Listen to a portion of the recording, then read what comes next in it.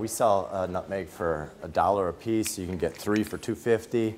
You don't need to mortgage the farm to, to acquire some nutmeg. Here at the Oaktown Spice Shop in Oakland, California, owner John Beaver and customers like Dave Wilson appreciate how valuable nutmeg once was. Nutmeg was worth more than its weight in gold. It was extremely expensive because it only came from such a tiny place. That tiny place was one of the Spice Islands in the Banda Sea in eastern Indonesia. Columbus was trying to find a shortcut to get there when he accidentally discovered the Americas. Back in the 15th century, it was the race for spice, and uh, all the European colonial powers were trying to find the origins of spice. The infamous Dutch East India Company, one of the first IPOs, was formed so the Dutch could monopolize the nutmeg trade. And they did for more than two centuries through a brutal and often genocidal domination of the local Bandanese and a bloody colonial standoff with the British. The Dutch ultimately traded their rights to Manhattan Island, also known as New Amsterdam, to the British for their island of Banda Rhun, the only place in the world where nutmeg was grown at the time.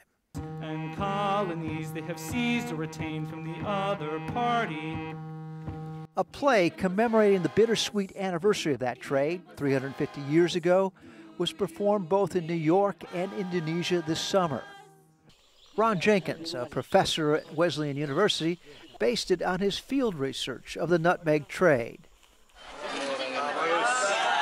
U.S. Ambassador to Indonesia, Joseph Donovan, a New Yorker himself, participated in the local celebrations in Banda last month, despite the fact the local Bandanese had no say in the historic deal for control of their islands. After all, it was signed by the English and the Dutch in 1657. You know, uh, now I want to cancel all this agreement, you know.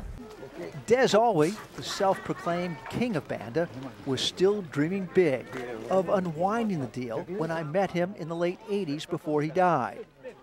It took me three days and three flights to get to these legendary Spice Islands, whose time and place in history have long since been forgotten.